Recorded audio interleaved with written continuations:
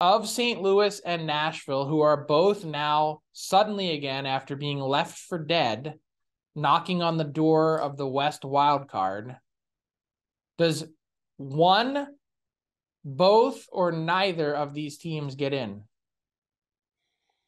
Well, I still think Colorado catches them, so or passes them. So that that means then they would have to. Knock Colorado's technically leading that in points yeah. percentage. Well, they're tied with they're Nashville. tied with Nashville. Right. Yeah. Um. So I'm gonna say neither. I agree, but I was surprised. Like it's so hockey. Like it is peak hockey that O'Reilly and Tarasenko are out of the lineup, and those team that team goes four and one. Yeah, I told you. We said, hey, you look at the at the Blues. They the Pittsburgh Penguins are the poster boys for doing this year after year. Remember when Crosby and Muck, Crosby was getting hurt all the time, unfortunately. Well, not all the time, but he had those concussion and whiplash issues for basically parts of three straight seasons.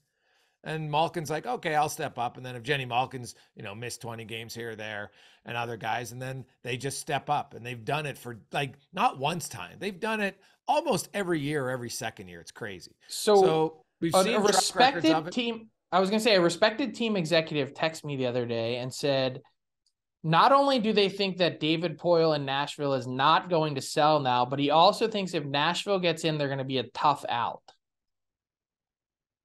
What do you make of that? We like when I said left for dead, we were already picking at the carcass on the trade deadline front as sellers for both St. Louis and Nashville.